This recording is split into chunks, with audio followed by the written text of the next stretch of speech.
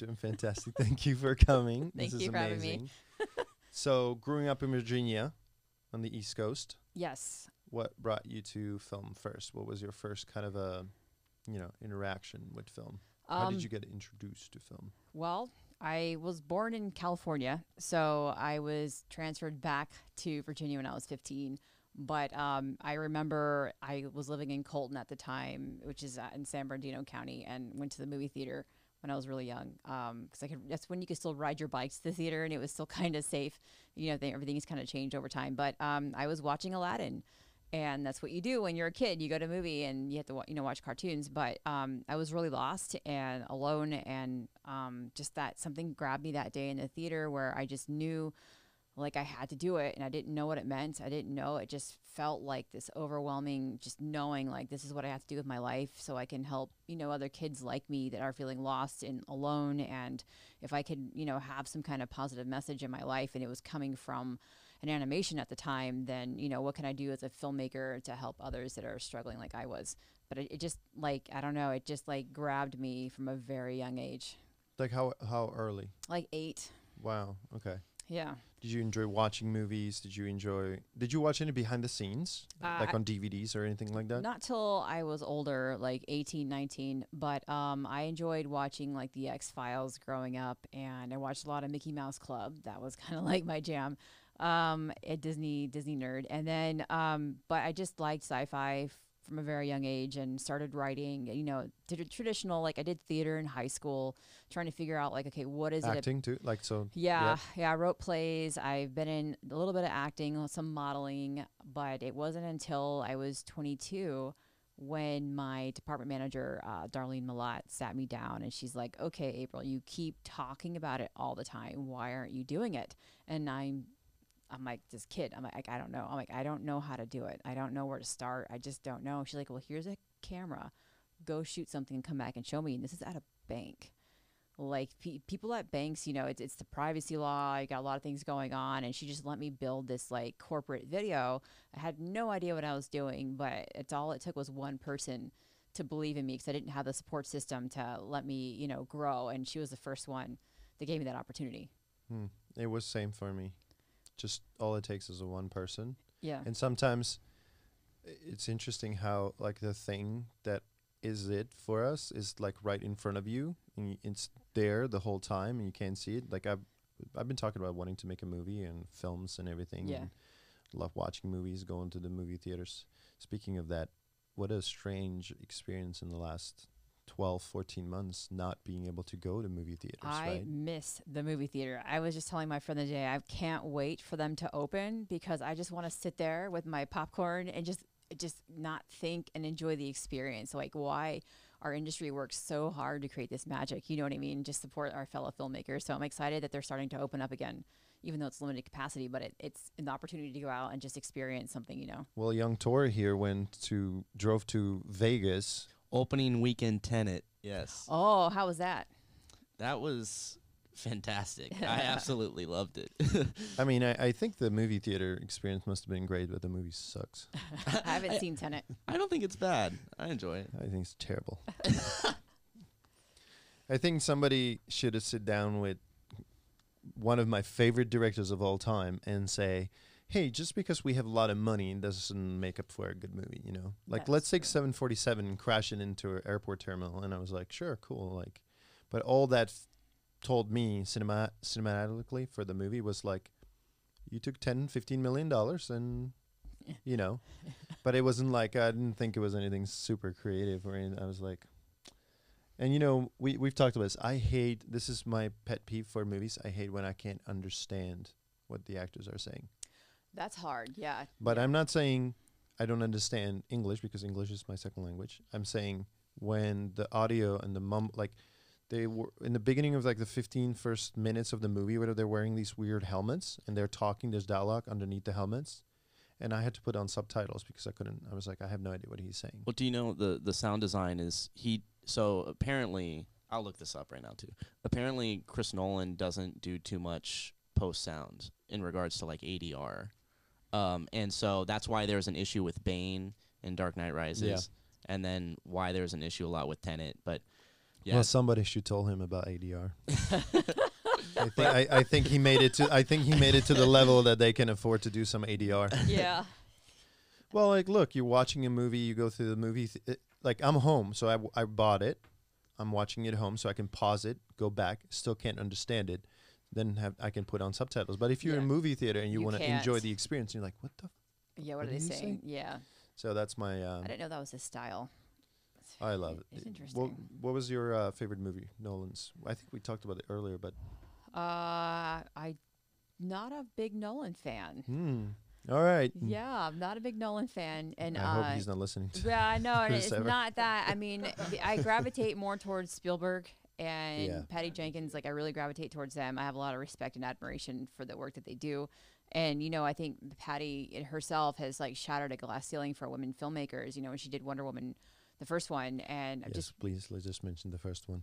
and you know i just really respected her position and the love she poured into that film i mean you could read it the entire story in no man's land that scene i mean it's just epic Uh-huh. yeah I loved the first Wonder Woman. I Yeah. think the cast was great. Uh, Chris Pine is actually recently I kind of, you know, seen multiple movies, and I was like, he is part of me, like my generation, one of my favorite actors. I think he is really, really talented. he's come a long way i mean Yes. he's, he's a really he's well rounded and you can put him in like any role and he just grabs it and just runs with it you know what i mean he's he's, he's a definitely a really a really good actor Did you had uh, family support when you were going through like the theater or anything? Was your family supportive of uh, this film adventure that you were kind of like did?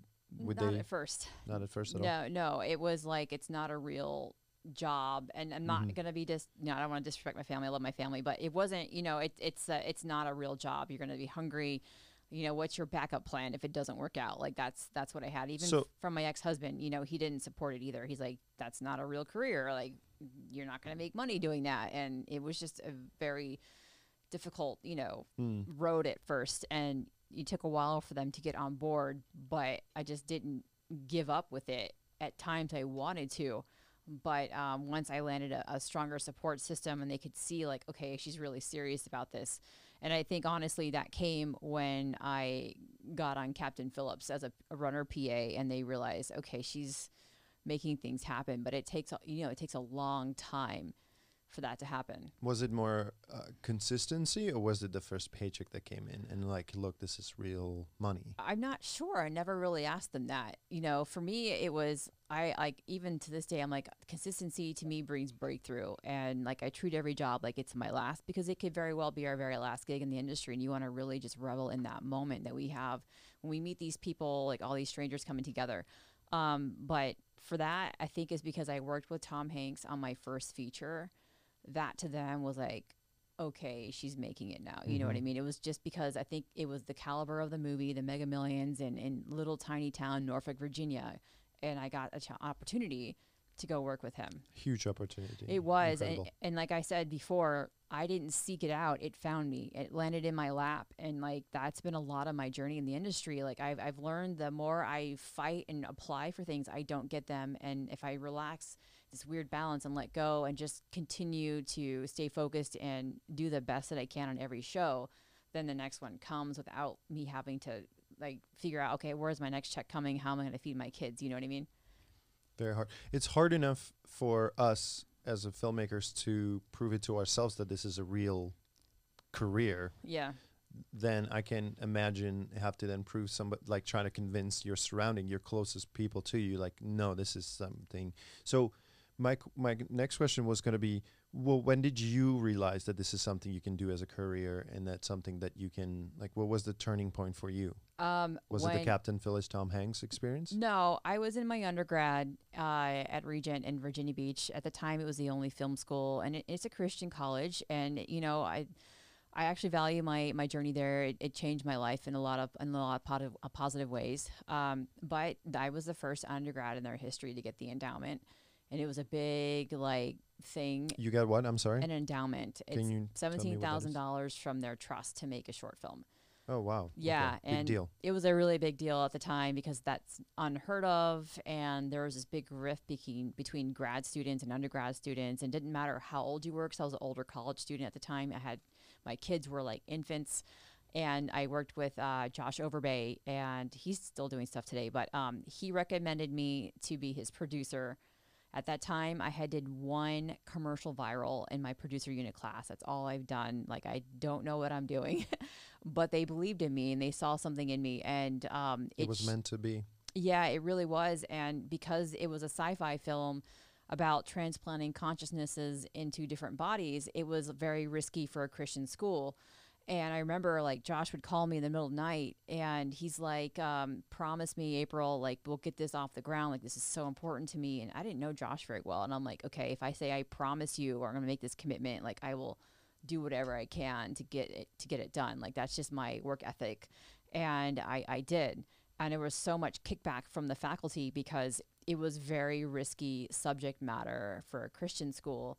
And um, we got it done, and it shattered records in the film festivals. You know, it was a 2009 Student Academy Award national finalist. And Let's pause on that for a second. That doesn't happen to a lot of student films. no, So that's a pretty big deal. it It's- is. this is the it is the Academy Awards. yes. So that's pretty incredible. And I'm assuming that was a huge door opener to networking and some possibilities. Did you guys actually go to LA to, or was that a digital submission and you guys send it off? Or It was a digital submission. Josh had sent it off, and it, it won the regionals, and then it made the national finalist. Um, but the actual awards, they only took the top three, but we lost to USC because USC won the whole student category. that damn USC. Uh, right, but to have a smaller school in competition with them, I think Incredible. it was a credible opportunity and that's one i don't take lightly um, but you know josh is a professor at a university still making features you know he, he's had a really good run and he continues to you know to develop and, and my path was a little bit different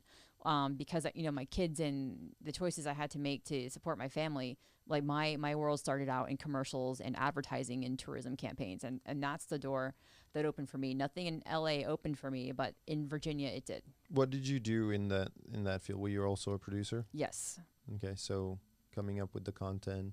Yeah, so I would get hired at the ad agency as an independent contractor, and they would have those the lookbooks and storyboards done.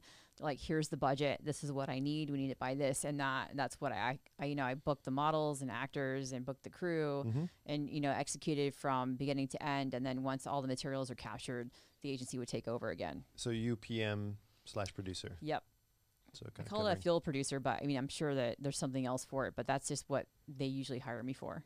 And now you've, uh, you know, I don't want to say graduated, but now you're consistently working booking as a UPM In the film unit industry. production manager. Yeah. Can we talk about a little bit what that is actually for people that even maybe don't know what it is? Um, we we break down budgets and we manage them on set. So we're in a production office, and you know you work with unions. Every you know like the first thing I'm going to say is there's no such thing as a perfect budget. You're going to be over budget. That's just impossible in a reality like a dreamland where you're going to have the perfect budget. That's never going to happen. But um, uh, you hire your crew, you build your production office team, you negotiate the contracts. You know what I mean? And and you make sure everybody's like the days are made. It, it's a lot of paperwork and it's a lot of like managing and like really understanding the industry as a whole. And I just really I just really thrive on that adrenaline rush. It's just Mhm. a rush for me. It's it's so much fun. But then you kind of move along with the crew from pre-production. and You are actually on the. Person on set. Yeah, I go on set a lot too. And it's a happy balance for me. When is the uh, split between being a line producer and UPM? Like line producing, like literally just breaking down the budget because it's kind of versus you. Then kind of, can you talk about that difference a little bit? Yeah, I line produce as well, but I think they kind of go hand in foot. So like some some shows you might be doing both because it's pretty much the same thing. It's more to me, and it, someone might correct me if I'm wrong, and so I, I apologize though if I'm getting it wrong. But my experience has been it's still you're still doing an initial budget breakdown. You're still doing an initial breakdown before your AD comes and does an actual breakdown of the script, and then they take over and they take it to another level. Those ADs. Yeah, but that's what they're supposed to do. They're supposed to take it and make it even better. And um, it's the initial the initial breakdown, but um, it's all about the budget and their line items. You know what I mean? It's Yep. it's that initial like "Ah, here's my script. I need the story. I need the whole like strip boards broke down, and then the budget broke down to a tentative idea. And then if there's a, a luxury to have the UPM, we take that budget and then we start managing based off where all those line items are going. It is a luxury to have a UPM. It is. It's very seldom that those indie shows have them, but when they do, you're like the only one in the production office, so you wear many hats. PC, UPM, Yep, production secretary, line producer. PA. you do like everything. So, what was your first like uh, major real exposure? I remember, uh, you know, working on some film in the Czech Republic in the Barrandov studios when I was a, a young teenager from like a summer jobs where I would be a da- day player. Started with the costume department, then I moved up to stunts and just day player, just helping around, you know, ushering people around and whatnot. But then when I moved to Canada and I and then I did what I did in order to get into the union, and then I first went to visit my friend who is a first AD who got me into the union, and showed like I f- was first walked in and we talked about it a little bit, you know, on the set. I was just like, what? Yeah. Like this is real, you know. I because I grew up, especially being from Europe, growing up in Czech. Like I've only seen this on TV, like Yeah. on the DVD behind the scenes videos. I was like, wow, I wonder what that thing is for, like the crane, the lights, you know, all that. And then I'm walking on set, and then and these people with cargo pants, and then DP, and somebody's looking into the viewfinder, and they're doing something, and then there's that thing that you push, and Oh, I didn't dolly. even know what it, what Yeah. it was, and I was like, wow, and cranes and whatnot, and. What was your first uh, major exposure to like a real set when you were like, "Wow, this is amazing"? Captain Phillips. It was hands down. I mean, I've done smaller things, but to have, and this is like to this day, I, I still can tell you what I was wearing and the smells and the air and like the, the atmosphere is like the first day on that show when I stepped onto that pier at the naval base and Tom Hanks is probably like five feet to my left and you could just see that stars and magic in my eyes because all this like mega millions of Hollywood is unfolding in front of me. And I'm just like, this is it. This is where I want to be. How do I get here from here? You know what I mean? Because it's it's not very often in smaller towns you have those big shows coming, and when you do, you really got to take in those moments and be ready to learn because these are like LA's absolute best professionals coming, and you have the opportunity to grow. Well, a lot of people. uh, So this is kind of uh, true in anything, like especially any kind of high career, like achieving, um, you know, careers, athletes or anything. When you get to the top, or when you come to where the top league is being played, like Captain Phillips set, you know, working with Tom Hanks, which I want to ask you how that was, by the way. But it's even harder than getting there. It's even harder to just stay there. So when you're now you're there, you're like, wow, this is. You were probably thinking, how do I consistently come back to this? Yes. This is. It's not like I don't want to go back to doing anything but this kind of stuff. So can you talk about that? Yeah, uh, I am still working towards that consistent level with that kind of mega millions. It's hard because it's a humbling process because, you know, I'm a producer, I'm a UPM, and in order to get there, it's still like you have to pay your dues and work your way up the ladder. There's no, honestly, there's no, there was no other way around it. And so I'll, I'll occasionally get those big shows, but uh, you know, my role in the production office may change a little bit. It might flex to a coordinator or it might flex to a secretary um, but I'm willing to do that because I like I want to be like where they are because I really value like my my professionalism and how I execute my shows and you know to be my my very best and there's always room for growth. So um, I'm still working towards that consistency on that level. It, it takes a long time. Hmm.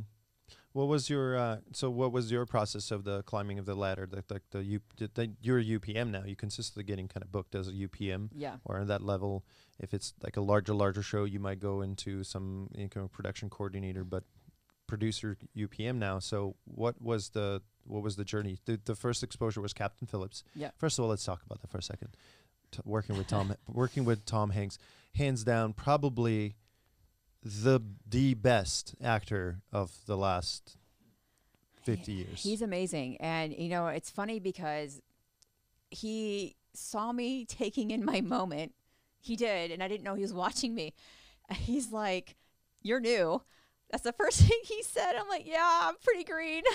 And he's like, I'm Tom. I'm like, Hi, I'm April. And he was the nicest guy. But he's like, You picked a good first feature. But, Brian, I didn't choose it. It, it found me and I'm so fortunate because not a lot of people get that experience for their first one. but he like th- it blows my mind that he knew I was so new to the industry Mhm. because you could just tell. I mean, it was like this, all these moving parts. You're just like a kid in the candy shop, like, oh my goodness, I can't believe I'm here. Somebody pinch me, you know. Like what's happening? Yeah, and I was just a runner PA. Like that's all I was doing. It wasn't anything significant, but to me it was the world. You know what I mean? To have that one moment, you know? Do you believe in uh, speaking things into an existence? I do. There's a lot of power in our words. So I'm very, very meticulous and careful what I say because, you know, Like, I mean, thinking, wanting to do something, going after it, projecting it out there, and then eventually you're there, and you're like, people are like, "How did you do this? How did you end up here? What happened?" And and for me, I'm like, "No, I knew it. I knew that I was going here. You know, I had my mindset. I was speaking it into an existence. So." What I wanted to ask you, like getting on that set when you were like, "Wow, how did you know?" The, you didn't choose the project; the project chose you yeah.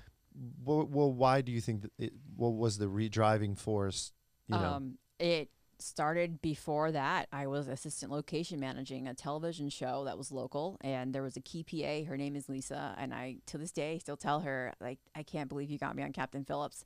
She was only on set for one day, and I met her for one day, and she left to go on Captain Phillips, and then she left. I think a few days later after that to go work on Killing Lincoln, and she called me and was like, "Hey." I'm recommending you to do this. Do you want to come PA? I know it's not your role that you're in now, but would you be willing to do that? Because I know you can do it. And I'm like, oh my God, yes, sign me up. So I left a TV show at a, at a higher pay grade to go PA on a union show um, just from working with someone one day on set. That was a PA. Incredible so what was your uh like process because so captain phillips was a union Yep. and you were like indie kind of Yeah, non-union. so this was the first br- this was your first break that's Yeah. what we were talking about Yeah. how did did they did you start writing your hours or for the unions or did you learn about the unions in that process as well or No, I honestly, I was so excited I didn't pay attention. Mm. No one, no one really told me like to keep track of that until a little bit later on. But I think when you're and then when they told you how many days you need to keep I was- it's I like, what? I don't wish have, I, I, have I- kids. I'm a single mom. I can't do that. It's too many hours. I That's know. what it was. It's a lot of hours. What is it right now? It's like 500, isn't it? Five, six hundred hours. Yeah, I think. Yeah, it's a lot. Young Tori can Google that for us and interject a little bit Yeah. later. Um, so another question I wanted. So you grew up in a really small town. You you so the exposure to like the shows and everything that comes through town. That's why the the print and advertising for the state of Virginia, right? Yeah. and for tourism and all that. That was kind of what was available. Uh, but I wanted to ask you, what is, what was the first major UPM producer job for you, and how did that landed? Because from when you finally had the realization and somebody believed in you and put the power in your thought that like I can do this was your friend at the bank where like here's a camera go do something Yeah. make something happen Yeah.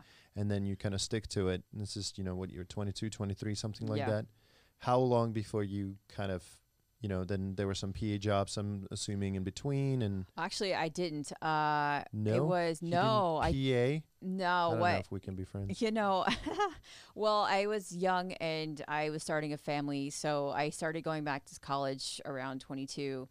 Ended up at Regent when I was 26, and then um, it wasn't until from that point. So you're talking maybe 2001, 2002.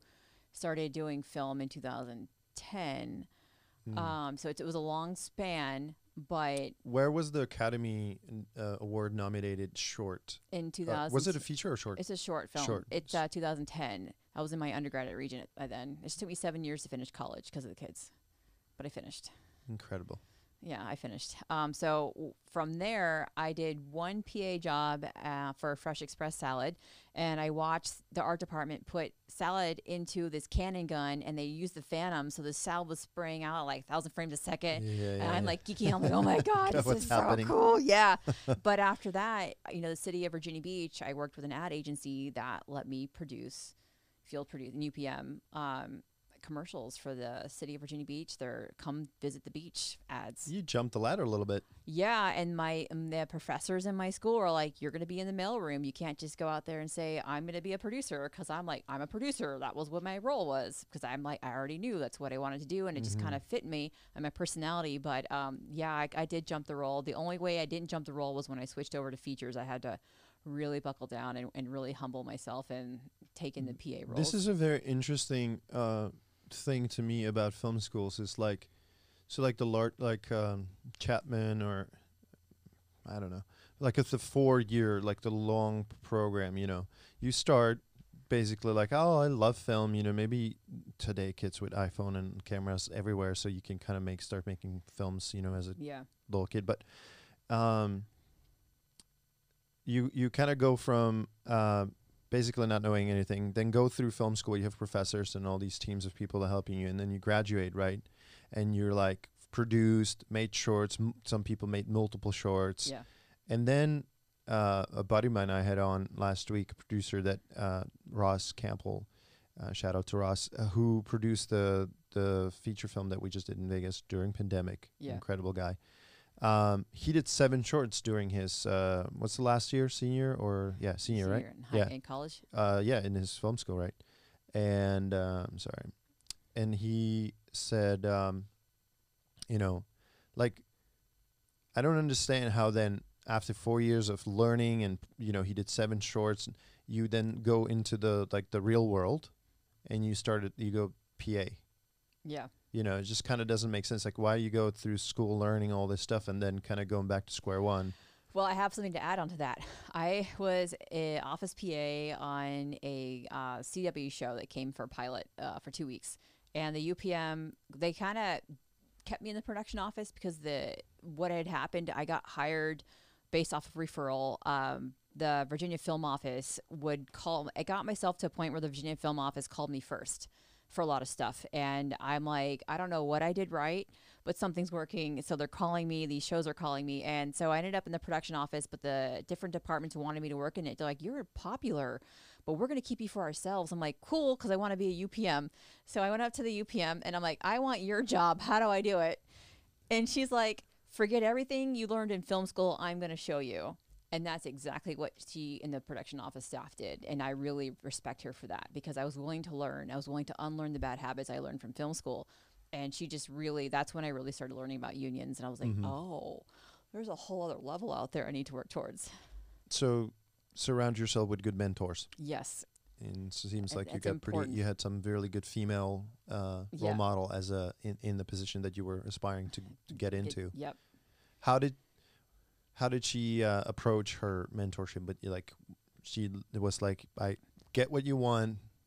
I'm gonna share, and I'm gonna. yeah and and and that's pretty much what it's been for me like she was like you know i'm gonna give you some pearls like pay it forward i'm gonna help you and that's exactly what she gave me and then um, I have another UPM mentor now. Uh, her name is Karen Jarnicki, and um, she's a production supervisor for the DC movies. I mean, you can IMDb her. She's a sweetheart. I met her on a Hulu show, and um, she, I just like, I knew she was a production manager because we didn't have a keen sense of who's what in the world when you're in the set so long. And she uh, was teaching me how to do next level budgets, and we went, and she's like, I'm going to show you how to go to that next level, and she's like, you can't do this level anymore but uh, like the UPMs that I've met, even on the CBS lot, they have really like sat down and had conversations with me, and it's made my friends insanely jealous because they don't usually give people time. And I'm Huh. just sitting here, and I'm like really grateful for them taking me, you know, under their wing and really showing me because you know we were trying to get me into the DGA because I've been UPMing for so long, and because like my hours in Virginia weren't rolling over. Um, so but they're like, you can't go back to PA. and You've worked too hard Too for so hard. long. Yeah, you can't go back. So we're we're like, there's this whole plan now of how I can get. That's funny, right? The zones of the unions as well, right? Yeah, Where certain hours do count. So like, ADing, for example, um, like if you're if you're gonna AD first assistant director uh, in in in LA, it's almost better to start here. Um, like I have friends that were ADs, first ADs in like Hawaii or the outside LA zone, and they come in here and Yeah. they can't be a first AD. They have like down, they get downgraded or yeah, I have friends that have been hired, flown over, and then they found out like, oh, you're in this. T- we can't actually.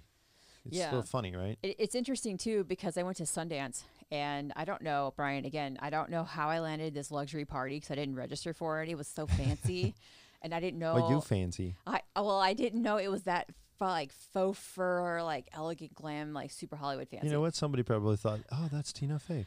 yeah, maybe. That's what it was. Somebody was like, "That's Tina Fey. We're not gonna ask her." but so, so my friends were like, jealous. in, Tina. my friends were jealous that I got this party, and I'm like, I don't know, you know, I'm just like very down to earth. So I'm going in like my Uggs and my REI because it's like Utah in January, it's freezing, and they were so fancy, Brian. I remember standing there and and I'm like, oh my god, I can't go in there because I don't fit in. Like I didn't fit in, and this guy was handing out these super fancy cigars that I don't smoke, but so he gave me one. And he's like, "Are you okay?" I'm like, "Look at me, I don't fit in. Like my my clothes, nothing I'm wearing says I'm on like I'm supposed to be in this party." And he's like, "I don't know you, but you were born to stand out, and you're gonna be just fine." And he was very encouraging to me, and I, I went in that party, and like I actually had some really cool encounters with high prolific Hollywood people that again gave me some really good pearls of wisdom. They're like, you know, you're a good person, and I guess because I was very authentic of mm-hmm. like. It was kind of like Pretty Women minus the whole stripper thing, you know. Mm-hmm.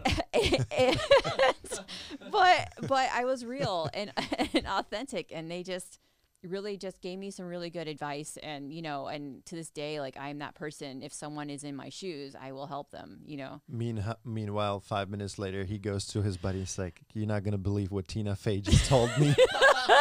Probably so. it's like, so I gave her, you know, a little. but but that's the experiences I've had, you know, and and ones that I'm really grateful for because it's not like that for everybody. Yeah. Last question about the Virginia uh, area, East Coast. What's the major difference, in your opinion, about that in Hollywood? Like the Hollywood filmmaking here now in LA, because you have both experiences. So I think it would be great. You've you worked professionally on the East Coast in a small town, came from a small town, and then now here you are in LA, where we have literally hundreds of thousands. And I don't even want to say ten thousands because it really probably in LA is hundreds of thousands Yeah. in the industry competing in for gigs, jobs, opportunities, networking. you know, Um, so Virginia is very Southern home hospitality. So when you go and film there, you're gonna get these down to earth people who make you feel like you're at home. It's that Southern hospitality, you know, and they're hard workers. Um, but there's a there's a certain level where it kind of caps a little bit, where there's just like there's no more growth. But when those union shows come, they get hired on for that, and people enjoy working with them, like because we're just very, you know, very friendly, real, authentic people. You're gonna have those that are like not that way. It's like that anywhere. But you know, coming to LA, you have that. I mean, it's like next level professionalism. It's like you're not in Kansas anymore. You got to step up your game if you want to go play with the big boys. I mean, and really you have to, and you have to be careful because you have to find the right group to go work with. You know what I mean? Um, but I, I've enjoyed working on both coasts, and I miss my 757 family a lot. They know that. I mean, I'm grateful for the jobs I've had with them and the growth and the foundation. But now it's there's so much more I can offer, and that's why I moved to LA because I knew like that's the level I want to be at. Like I, I that's what I'm working towards. I think I know what you mean. I I feel like there's a certain standard and level to LA almost. Like every Yeah. music video now I'm working on is other shot on the Alexa LF, yeah. You know, or the Mini LF, or like Red, Yeah. or we're shooting with like the just the, the the level of quality of the gear and you know all the DPs and people that I know in the industry like own some of this gear and I'm like, wow, Yeah. like it just it's it's a whole nother standard here, you It- know. it is, and I worked with, and I can't say who the client was. I worked with a, a high-end Fortune 500 company that came in to Williamsburg, and this is what that igniter to come back to LA, and they were like, "Why are you here? You need to be back in Los Angeles." And I'm like, "Oh, I can't raise my babies in LA. Like, I just don't feel comfortable because, like, you know, Virginia is a great place to raise a family." Um, but they're like, "You have so much potential, and you're not using it here." Mm. and that's coming from like the absolute top producer and so i'm like okay let me talk to my mentor and figure out like can i do this am i willing to sacrifice this move for my kids because it, it was i knew it was time but it's risky because you don't know when you get here like if you're going to make it or if you're going to have to go back home That's a tough one, right? it was a hard one, especially with kids. Like I'm like I don't have a lot of help with them, even as now a teenager. So I'm like, okay, I'm gonna have to figure out how to make this work if I'm gonna take this leap of faith. But when I got here, it was very rewarding for me. It wasn't it wasn't like, oh, I'm in the making all this money. It was more like the doors were opening. I'm in the right place at the right time. You know, it wasn't just film being on set. It was also like, okay, now I'm modeling, now I'm acting, or I'm doing feature background work. It was like, okay, let me just keep. You'll do whatever it takes, whatever it takes to survive, to make it, break it, network. Yeah, and that and it's like this switch flips for me when I'm away from my children. Like it's every moment when I'm away from them counts. I can't waste it.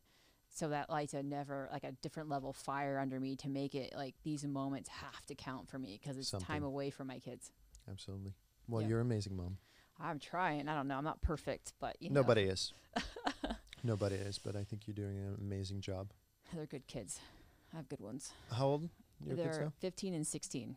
Right. So, wow. So they were really young when you were like getting into the industry. Yeah, they're mm. very familiar with all the shows, and like one of them, I you know like I think we talked about it briefly. Like I I've it was been a struggle because I've had to let go of opportunities that I couldn't take because I had no childcare. Um, you know, I, and if the job wasn't enough to cover childcare, I couldn't Mhm. I couldn't take it because I just didn't have that support system or the help I needed to continue. So it was like I had a lot of side hustles, and when the jobs came that I could do with my kids, then I would I would do them. What would well, yeah, the film industry, you know, the hours that we work are insane as it is Yeah. for anybody, Yeah. let alone uh, a single mom with two kids. Yep. So, you know, talk about that. How was that? it was hard. I've I've had shows that were very um, because I worked really hard help me out a little bit and be a little more flexible. Like um, the CW show I worked on, and this isn't for everybody, and this is definitely not gloating. Like I don't know why they did this for me. Okay, they my kids were going on spring break, and I'm like, look, I have to leave the show. I don't have childcare, and the UPM, the coordinator, like, we don't want to lose you. I'm like, they're like, how are your kids good? I'm like, they're very well behaved. They're used to being on set, and they're like, you can bring them with you. We'll just have you do runs with them in the car. And I'm like, okay, let me see if I can have their dad after work pick them up so I can still work. And so they let me bring the kids to set. For some amount of time because mm. sets are 12 hour eh, craziness, yeah, right? Yeah, and then you know the kids were, and then when I would do my runs, so they weren't always on set, but they would, you know, they wouldn't, you know, kids like crafty, they would raid the crafty table, and then they would actually watch the shot getting set up and like watching the stars in their eyes was like really cool. But that was the first show that would let me bring them with me, and like that doesn't happen, and it made a lot of people angry at me. But I'm like, I don't know what I did to deserve that, but I was gonna have to let my job go because I didn't have Mhm. childcare. Have you, would you, so that was going to lead me to my next question, which is uh, wh- how do you feel that the industry is towards, uh, you know, mothers and, and women in general in terms of supporting them um, throughout, you know, when you go have a kid? You're in working professional in the industry. Do you, and, and kind of like over the last 10 years, have you seen an improvement? Is, is it becoming something that the studios, the producers, or the, the, the, the gigs are more, you know, I think now it's a it's gotten a lot better than it was when I was starting out. When I Mhm. was starting out, it was a little a little different because it was you're not going to be able to give me the time we need for you because you have two kids. And I'm like, okay, I understand, I respect that, but at least let me try. you know what I mean? Like I have the fire, the motivation to make it happen, but at least let me figure out myself if I can juggle that. Don't make that decision for me. But now I, I feel like there's a lot more grace for us um, to work because I know like if my son is sick, I'm like I have to go take care of my kid, Mhm. like because the relationships I built up and and like the referrals and rec- you know and all that recommendations, like they know that okay, April is gonna take care of kids and she's gonna come back. You know what I mean? It's it's not like you're gonna lose your job anymore. So Did you ever hit it? Did you ever for a job? You were like, I'm just not even gonna tell them I have kids. I've tried, but it, they still find out you have children. Like on Captain Phillips, you know, they didn't know I had kids. I'm like, oh, I got to go see my son. I'm gonna make sure I get home before. The-. And they're like, oh, you have kids. Do you want to go home early and go see your kids? And I was like, are you serious? so yeah, one of the one of the seconds let me go home and get put my kids to bed. So it was really nice of them. How long you were on the Captain Phillips? That was for Two couple- weeks. Two weeks. Yeah, that's how long they were in Virginia. What was the part that they were shooting in Virginia? Um, but the battleships because they were it's a major naval station, so like one of the ships. I'm sure I'm saying it wrong. Oh no no no yeah. So when the, the is it when the Navy SEALs are gonna Yeah. execute the kill on the the lifeboat Yeah, when he's yeah, when they're on the battle. By the way, it's the- the- Captain Phillips. What a movie! Like it's just the story and And it was handheld. I was like, ah, oh, I'm so geeking out right now. was April, he, by the by the end of it, did you look at Tom Hanks and say, "Look, I'm the captain now. No, Look at me. No. Look at me. But he was a really nice guy to work with. I I enjoyed it. I'm the captain. I did talk to the pirates though. They were really nice guys. Yeah, uh, the They're- guy that got nominated. Yeah, he's a really nice guy. I chatted with them a little bit. What's his name? Tori, find out for us. I, And I remember the guy. Like, I, I- want to give him a shout out. He's such a great. He was such a great actor. and in I that. didn't know, like honestly, I, di- I didn't know I wasn't allowed to talk to them because I didn't know like what the rules are. yeah, I didn't know what the rules were at the time, and I'm like, oh, there's rules. I'm sorry, I didn't mean. There is right. Isn't it weird? All these Yeah. like different rules of set. Yeah, but I mean, it, it worked out. Er- Everybody knew I was really green, and they were just kind of like navigating me towards doing the right thing. So I was just like, la la, la having a good time. oh yeah, he's a nice guy. Barkhad Abdi. Yeah, I chatted with him, and, Fuck and- man, I hope I didn't butcher your name. yeah, he was really he was a sweetheart. He really was. He's or been is a lot. Yeah, Yeah, he's been well. Once you get an Academy Academy Award nomination, I think uh, doors open up. Right, April. Yes, they do. So, um, relationships, producers, directors, any horror stories, anything? We've talked a little bit yesterday, and you told me you've been actually having, you know, pretty, uh, pretty good experiences o- overall. Yeah, I, I've been very fortunate in my in my in the industry since I've been in there. Um, I mean, I, I've seen it recently. I've had more issues with the women producers, um, and I don't know if it's because they had to fight so hard to get into that position, or if it's just like a clashing of personalities. But um, I mean, and there's no disrespect. I, I really do, and I think as as women filmmakers, it's important to lift each other up, not tear each other down. So. Um, you know, That's why I was so surprised when you told me. I was like, I expected at least one or two assholes producers, you know, because I mean, I, I've seen, you know, I've seen it all. But um, you were like, nope. I had all a great experience with m- male producers. I have. And then you're like, I've actually had worked with some terrible, terrible female producers that were so mean and, and you just a toxic environment. I was like, I want to know more. I, I and I honestly I respect them enough. Like I'm not gonna diverge no, no, no. stuff, but um, I don't know what it is, but I, I just like know that I if you need help, I'll help you.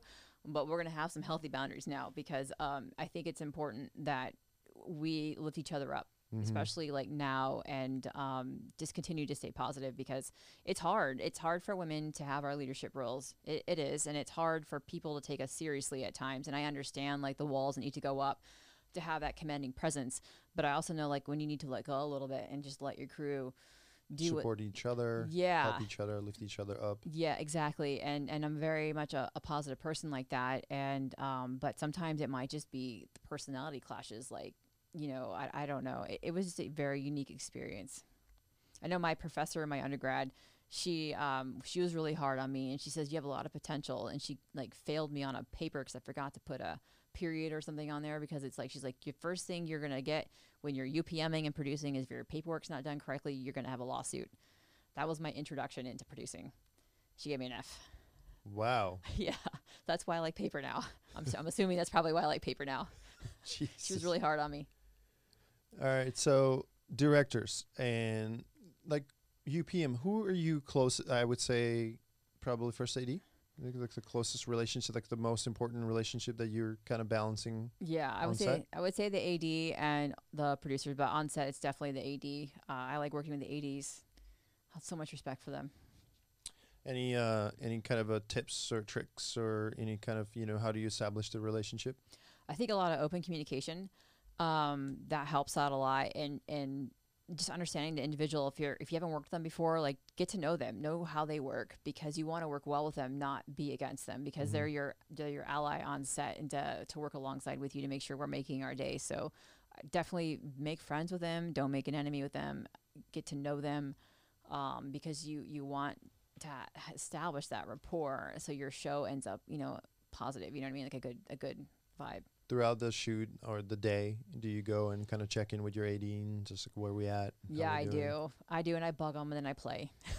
it's usually what I end up doing. What, I, I like I like to play on set, and I and I know that sounds silly, but I just I'm one of those people. Like I'm really happy to be doing what I love to do because it's not often we can say that we love to do. You know, we're like doing something that we love doing. Yeah. You know, and I and I enjoy my ADs. Like my James is the AD of mine, and I love working with him. He's so entertaining. I'm like, man, you just make me laugh all day long. But I let him do his job. I give him the room to do his job because that's what he's there to do. You know, And how about directors? uh, what depends. sometimes they're fun and sometimes they're difficult. But um, As any creatives. yeah, really. but I understand and I'm on board with their vision. Like I get it, but i you really have to wrangle them in sometimes. Um, but I haven't had any super diva directors that I've had to work with as a UPM, not yet. But I, I know, you know, it'll come at some point in my in my journey. But you know, Mhm. I've I've been very again fortunate to have ones that are like, okay, let me work past their personality. I understand it's their creative vision. Like, let me just let them do their thing, and I'll do my thing, and it's all good. I think it's important to establish the line with your director. Coming from me as a as a first AD, now also transitioning into directing, done some producing, to establish the line of what is it that you want versus what is it that you need. Exactly. You have to, because then they'll go over budget. Right. Well, and not not even like for me, time wise and and blocking the actors and everything. I'm like, okay, yes, this yeah. would be ideal for you to get all these angles and all these take. I mean, Yeah. you know, when you're in a 50, 100 million dollar movie, nobody cares. Yeah. You know, You gotta. well, get, you at some point, people do start care, but like, you you shoot a scene for two three days sometimes, you know, and it's like, wow, all right. I- yeah, yeah. You know, when you get one, when you get then when you get it all dialed in, you're kind of just like, all right, well, do your thing. I think that's why it's helpful having a shot list. You know what I mean? Like some Oh, directors don't have a shot list, and I'm like, okay, no one knows what's going on. We can't plan the day. It's going to be so helpful knowing like what's needed to capture the picture. Yeah, I almost feel like some directors do that on purpose yeah, to kind of like, so they can they, you know, get more. yeah. I like storyboards. I like to lay it out, and plan out everything, and kind of visually have it prepared. And it helps. It helps plan the day better. I like doing concept art, even from Oh, yeah, very really. early beginning of outline of stories and everything. Yeah. Just start to visually support what you're creating, Yeah, because then you might see something and it's like, wow, that's cool. yeah, That could be part of the story. yeah, that could be a you know that tool that that uh, you know uh, you know the sci-fi that I'm working on that exoskeleton now becomes basically a character yeah. and it's like well I didn't know that until we concept did some art And and, some at it. sketches looked at it Yeah. but um so closest relationship with your first AD with your first ADs do you uh, usually pick your first ADs or do you mostly come on on on shoot and they were already on board with the you know I uh, honestly, they always hire me after they hire the AD. Um, so it's like that's the, that's been my my path, but um, that's okay because I've, I'm very you know very friendly and approachable, and I just go and introduce myself to my team, and you know let the relationship build. just grab some water you good you want more water Uh, I, more would be great because I'm probably going to finish this pretty quickly. But yeah, you know, I, I really I like my ADs. They're awesome. I haven't had any issues Well, with I, any ADs. I'm very grateful that you spared me of the last shoot you were on. You're like, Brian, I'm so glad that this wasn't the one we worked on together. because you probably wouldn't have wanted to work with me anymore after that. Oh, no. be fine. But um, but as far as like you want to talk about missed opportunity, um, as a as a working mom, you know, I had a internship at Universal in the post production, and I had to turn it down because it wasn't paying, because I couldn't take care of my family. You would think Universal would pay, right? Yeah, that one was non-paying, and I I couldn't do it. Are they uh, in the union? Is there any kind of child care or any kind of uh, anything? Or I don't I don't know, but I was happy that that once in a lifetime opportunity came to me. But like I am not ever gonna sacrifice my family for a job. Like I'm not gonna do it because I, I really value being a mom and like my kids are my responsibility. You know what I mean? I want to make sure I'm there for them. Even now, it's like okay, I'm not gonna. You know, I can travel now because they're older, and, Mhm. and apparently, when you're teenagers, it's not cool to be around your parents anyway. but, but you know, I, I just wouldn't at the time when they're so young. I'm like, I'm just not not going to do that. And it was just took me a lot longer to get to where I'm at, but that's okay because I think everyone has these decisions that we're presented with, but I chose my family. as you, as you should. Yeah. I agree. But um, well, let's say there is a single mother, mother, sorry, out there listening. You've been now doing this. You've done this for ten years. Yep. What are some of the tips, tricks, or something you know that you could like, hey, I've I've worked around this way, or I was able to do it this way. What are some good um, you know measures to to make the already crazy schedule of filmmaking work? Um, I would say try really hard not to feel guilty. Um, mom's guilt is a real thing, and um, I still have it sometimes, you know, with my kids. And um, don't feel guilty. Your kids love you. You love your children, and just keep that in focus. And know that, like, like I said, the moments you're away from them make them count. And um, you have a solid support system, someone, people that you can trust. So if you get a gig last minute, you can have someone tag team the kids with you so you know they're safe and they're doing their homework you know because mine were really young when i was starting so like childcare was a really big thing for me. Um, and don't give up because there are days where you just want to cry because you want it so bad but then you go home and look at your kids and you're like okay it's going to be fine. Like you can't give up because it, there are moments where some of the jobs you have to pass on because your kids are going to come first like they, they have to come first but it's okay because they're not little ones for long.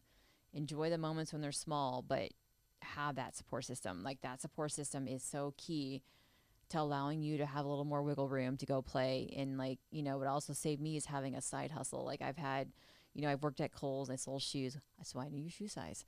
Um, uh, my favorite side hustle, I worked at Disneyland and I was a photographer there. And it was probably like they did a really good job fostering my creativity.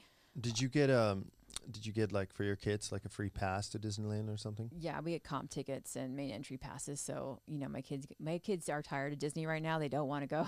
they like grew up in Disneyland. they did, and but that was my favorite side hustle, and my department was really good to me. I don't know who would complain about working in Disneyland. Well, I was embarrassed at first because I'm like, I want to be a serious filmmaker, and Uh, here I am taking photos of people in Disneyland. Right. And but when you're indie and you're trying to get out of the indie environment into like, you know, we're talking about being on that consistent Captain Phillips level, like how does that happen? It it it's a it's a journey and you know, when, you're raising your kids by yourself and you know, you have sometimes have help, sometimes you don't. You're trying to figure out, okay, am I doing the right thing? Because I would tell you, I would give up everything for them. Like I would walk away from it if they asked me to. But my kids have been so cool about it. Like, no, mom, you are so happy when you're on set. Like keep making your movies. You know what I mean? Like they just they're very they're very cool children. So, you know, like That's incredible. So so amazing support system from your is, kids. is key. Yeah, my kids have been very supportive. they see the love that you have for it and they they pass it along back to you. Yeah, So, mom, now go ahead and do this. They yeah, when um, COVID hit, my um, daughter asked me to let her go because she was struggling out here, go back to her Because they fucking canceled all the school and everything, right? It and was then, hard. Like, doing Yeah. Zoom calls. I'm like, well, I can do that from anywhere. I can't go anywhere in in LA. Yeah. you can't do anything. So you know, she she asked me to let her go, and I sat there and I was crying because I worked really hard to get them here. And I remember that, so I told you I might cry when I say this. I was in the airport, and um, my son's like, "Mom, you have to make your movies. We're gonna be okay." Because they asked me to let him go back to their dad. So that was really hard. Because like Your son was out here too. yeah, for a little bit. And so, um, but he's like really smart and he needs to be challenged. So, um, but they've been like really, really good to me. And Supportive. yeah, sorry I'm crying, but No, you're fine. Just love my kids. They just like, I can tell. I think everybody can. yeah. So, you know, um, I'm very fortunate that I have them. Yeah, you've did. sounds like you've done an incredible job. Yeah. and You have a great support team. And you've, Turns out my kids are my best support system. yep. Well, they're you, Yeah. right? They they were raised by you, so. So now I have one that wants to be an animator and one wants to be a doctor. Mm. Right. Very opposite. How, does, how does the one that wanted to be a doctor feel about the whole COVID situation? Uh, I don't know. He misses his friends. He's my social butterfly, so he rides his bike to go hang with his Mm. friends and do his social things. But now that they're in school two days a week, um, the kids are still separated. Like they can't eat lunch with anybody. They have to eat alone. So it's like really lonely, and I just feel really bad for them. Um, but he doesn't like it. I don't think people quite understand the level of sacrifice that you probably had to deal with. Like, let alone how hard it is to get into the industry, work in the industry, and get opportunities presented to you, and then have something else um, that you know you can control be like "Mm, no i'm gonna you know it, there's something i want to do i love to do but you know i love my children i want to spend time with my children i'm not gonna so what was the number do you remember was it the universal gig that was probably the number one kind of a disappointment to you that you weren't able to take on and i know i love the decision you made obviously there was no no other choice but Yeah, that was hard. That was probably the one that and what was it what were you going to do in universal what I was was the job offer a post PA. wow I could have worked my way up to Yep. post producer. Yeah, and that's I, a pretty quick ladder and they yeah he said that like the guy who offered it to me is like you are so driven you are going to move up was probably within the first year to be a post producer. Do- have you reached out back Uh, I have, but I haven't heard back. You know what I mean? That's okay. You know, it's the industry. Yep, Yeah. things move. Yeah, I I, I People take respect yeah, that. you know what I things mean? shift. So, but you know, it is what it is. It's just what my path was. You know. Yeah, I'm really, really impressed how you handled the everything that you had to deal with. It's an incredible story. I love, uh, I love hearing it, and I'm, I'm looking forward to working with you so much. I know. I can't wait. I'm excited too. Absolutely, absolutely. I'm like, ooh, paperwork. I'm so ready. Please sign me up. oh, I want you to be more than you know. yeah, I know. I no, and I want you out of that production trailer and be like, on the set. I have a really good energy. I've been told, and I think that's another reason why I get hired a lot is my uh, my energy and positive attitude. You know what I mean? And and just you know, like I really because I had to make choices, and I'm just like the ones I get, I'm just really even if they're good or if they're they're growing opportunities as they call the bad ones. You know, that's a positive way of putting it. Like there's always something to take away, and it could all be gone in a moment. So what are you gonna do even with this bad one? That kind of was the situation with the COVID, right? Yeah. And so I wanted to talk to you about that. I was like, here we are, gig workers. We were. It's almost always like waiting for the next phone call, right? You finish something, and as you're finishing up, you're like, I can't believe it's ending. But at the same time, you're like, I'm wondering what the next phone call is going to be for, because we're like, well, unless you get on a. So I went through the TV channels, right? Like, uh, Yeah. so for me, it's like once you get on the show, usually, unless you really fuck things up majorly, you stay on, and if this show gets picked up, you know. So TV's quite different than um, than film, uh, you know. or- Yeah. but um, what was 2020 like for you? The the whole process. When did you? When did it first kind of hit? Like, oh shit, this is gonna really. Um, I was well. The last gig I got bef- right before COVID, I was doing um, SLO County tourism ads that actually just aired, which I can share with you, and it's dope. I was like, yes, there's my wine country stuff. I really, I get really geeky and excited when my stuff airs because it's like, I you work hard and this, it's on TV, and it's like, yay, my stuff's on It's TV. real. It's really real. it doesn't ever get old. It's like the coolest thing ever. But um, but I was at Disney, and you know, I was still recovering from my my shoulder um being injured, and uh, I didn't have um a gig yet, like because COVID hit in March, and my last day at Disney was March seventh. mm-hmm. Then I, I'm like, I'm gonna treat it like a freelance gig. That was where my mind went because I'm like, I'm gonna treat it like I'm just waiting for the next gig. Mm-hmm. But COVID didn't go away. so um, for me, Do you remember the March, April time when people were like, "We're gonna do that two week lockdown"? Do you remember that? Like, Yeah. well, I guess we're gonna do this like two week, three week lockdown, and and we'll see how things go. and hopefully then there was in a like month, and then no toilet un- paper, no paper towels, and like because I'm you know I'm in Irvine, so I'm like there's nothing around. So like my friends from Disney were trying to help me find food for my kid. You know what I mean? So I'm like they were like, okay, I'm going to Walmart. I'm gonna see if I can find stuff for you and Tori, and they were like finding me groceries that I needed to survive because you couldn't find anything. You couldn't find meat. You couldn't find paper products. You know what I mean? So like they would go, they would go because in some cities you had more food than other cities. Mhm. You know what I mean? And I can't, I couldn't go out because I'm high risk. So I mean, so it was, it was very, it was challenging for a while. Was it high risk due to the surgery?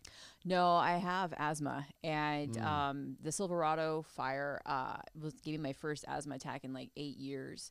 So I don't know what it'll do to my lungs. So I'm, I just have to be very careful. Yeah. What was your first gig during the pandemic? Uh, I ha- actually have an NDA, so I can't say what it, the brand is. But I had a I had a commercial ad campaign um, in October. Um, so that was the first one, and then after that, I got uh, a short film, and then after that, I worked on a double feature with Tosca Musk, Elon Musk's sister, uh, on her stuff, and I really like she. as a director, I I sat back and I'm like, I love watching this. It reminded me of Captain Phillips. Like she's just like with a DP, watching all this magic unfold, and it was like a really cool experience. Yeah, you told me about it. Yeah, Um, she's how really was she worked to? she's a really good eye. Like I really admired everything that she was doing on set. You know what I mean? She did a good job.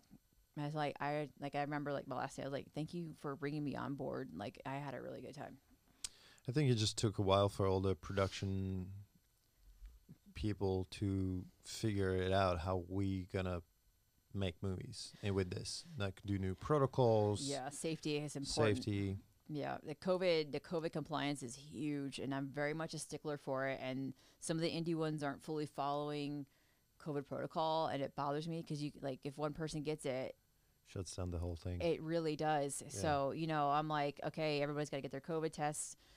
You know what I mean? Like every other day on set, and the pods, the working pods, and the food. You know, i know as if it wasn't enough in the independent film like if it was as if it wasn't hard enough right Yeah. to make an independent film and then uh, so we were doing this movie in vegas um, and vegas been so they've been so good to us yeah, but like all the things that I had to do as a uh, AD, and then now like, okay, like you got to draw the safety maps for the COVID and health and safety, and like all these things like square footages and who can be in what rooms and what's the hot zone, the red zone, and the, the Yeah. you know and the wristbands and wristbands are important. yeah, and the face shields and the K95s. Yeah, I have two certifications in COVID compliance, and there's one more in risk management that's done out of the UK that I want to take because I want to understand what the measures are as far as whole production as a whole. Because as a UPM, like you really need to understand like all the nuances to like where this is all going to happen if something happens. You know, what's next for you? your stuff, My stuff. your stuff. um, but I have a short film this week coming up. It's one day, so I'll, I'll do that, and then um, whatever comes comes. You know, I just wrapped TK2 as a coordinator. Uh, they brought me on as two roles for that show, so like that was a really good experience. TK two. Yeah, Tiger King 2. Yeah, let's just be. Is that like official that they? has that been officially announced that they are filming season two? No, I didn't even know they were. Um, I got that one through Facebook, by the way. Like that show, and they found me on Facebook, and I interviewed a couple times with the production manager and the other producer, and they really like you're overqualified. I'm like, yeah, but right now I just want to work because it's been COVID. Mhm. So I, I came in and I was geeking out over doing insurance forms and booking picture cars, and you know, like I have like this. I'm in my sweet spot. This is great, you know. Nice. but but it was a really like I just worked really well with the team, you know. And I'm like, I can't wait for the next one. But yeah, Did you watch the first season? I did. It was crazy. I'm st- ev- yeah, I know. Everybody, there was that big, you know, uh, what do you call it? There was that big like Tiger King, Tiger. King. Everybody was talking about Tiger King. I'm like, and I watched like the first episode or the second, and I was like, I don't know what everybody's like. Tripping. Do I need to finish? Do I need to watch the whole thing? you should. It's interesting. Um, All but it's uh, it's a it's like a nine hour or ten hour commitment, right? So yeah. I'm I like, know you're busy. I don't know if I want to give this thing. but as far as what's next, I kind of go with the flow. You know, it comes when it comes, and you can't force it. You know that Yep. you can't force it. But yeah, so it's been it's been a good ride. It's been a really good ride for me, and you know, just knowing my kids are there, my little sports system. So it's just been they're such good kids. Um, anything larger? Anything big project coming up, or anything on the horizon? Well, I've been trying to get my feature off the ground, and I got my first angel investor. It's a family drama, um, so I want to do that. You wrote it? Yeah, Mm. Yeah, I've been working. Did you ever wrote anything before? This was a COVID driven, like, well, I have time on my hands. and- Well, so the history, it's called Evangeline. The history of this film, my grandfather actually died three years ago this month. And before he passed, um, he was so proud of me because of Captain Phillips. He's like, granddaughter, you really made it. He's like, I'm so proud of you, you know? And it's like, I was just a PA, but for him, that was his favorite actor. That was my first feature. And that really put in perspective to my, for my family, like this thing's really real for me.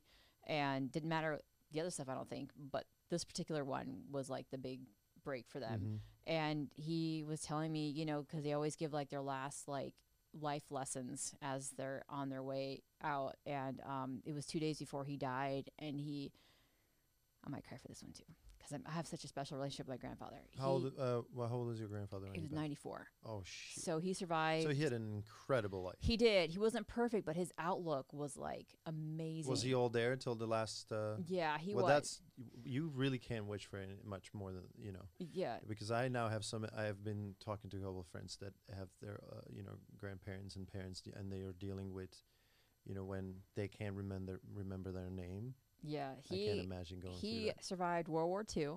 He survived a widowmaker heart attack uh, and malaria and polio. And he knew, and and this is because I think the trauma of World War II. Like I like I very for I have his stories. Like he let me record his stories from the war, and I sent it to the Library of Congress because there's not a lot in the South Pacific. And when he was ready to actually talk about it, he was supporting my film career, so he let me interview him with my grandmother. And so I have all of the stories and like the stuff that happened over there. And it was it's a I'll share it with you. It's a really incredible documentary. And um, he was like, he knew he wasn't going to die in World War II because he had this premonition because he was very spiritual. He's Catholic about when he was going to die, he was going to be on a bed with nuns with habits around him. And there's no nuns with habits there. It's the war, so he held on to that. But when he was dying three years ago, my grandmother and him had the nuns with habits come in and pray with him, and he's like, "Oh, I'm dying now." Um, but he uh, he talked to me, and my family knows this, and he so proud of me because I worked with Tom Hanks, and thought that that was my big break. And um, I didn't tell him like you know the whole like structure of how hard it is to work up the ladder, but he's like, "Promise me, granddaughter, that you're gonna make a good movie for me." And that was our last promise, so that's why I've been working on this one. Working. Is it? Is he in the story? No, but it's about bringing family back together because that's what he wanted me to do. So that's why I wrote it for him. Were you guys really close? Yeah, he's good people. He's not perfect, but his what did What did he do? What did your grandfather do for them? he cleaned pools of celebrities for a living. He was a pool cleaner. He owned his own pool business. He has a lot of stories about that too. So I have a lot of stories about Frank Sinatra and all these people from back in the heyday. So you know, Wow. yeah, he was. But my grandfather, he had a really like outgoing personality, and he was a ladies' man. Like the women just loved him, and you know what? To this day, and my family will laugh at this. Everybody was obsessed with his legs. My grandfather had legs of a 16 year old teenage girl. Like they had no hair, and they were like really pretty. And even when he was dying, the nurses were like, "Gosh, you have such nice legs, Louis." Like everybody wanted his legs, and we're all hoping that we inherited his youthful legs because he had really nice legs. But but he he was a ladies' man. But he was married to my grandmother from the 40s, and they've been married up until he. Passed. Yeah, Nice. I'm glad you have such a good memory. And he is. He lived 94 years old. yeah, he lived a good one. He had a good run. I mean, and his, just like his pearls of wisdom, like he would give me and my brothers. You know, he was just a really good guy. I mean, not perfect, but from what I experienced, my grandfather and my grandmother, like I have such a unique, special bond with them, and like I have so much respect for them, and like you know, I'm really close to my grandmother, you kn- and there's nothing I wouldn't do for them and honor them. You know what I mean? Because it's just like I really value family. So this feature film that you're working on is kind of for him. yeah, it's our promise. When did you uh, When did you start working on it? three years ago, right after he died. So it's just like I it needs like a dialogue writer. So I'm working. You know, it's been a lot of restructuring, and now that I have my first thousand dollars for it, it's it makes me feel like it's more tangible now. Hmm. It's hard.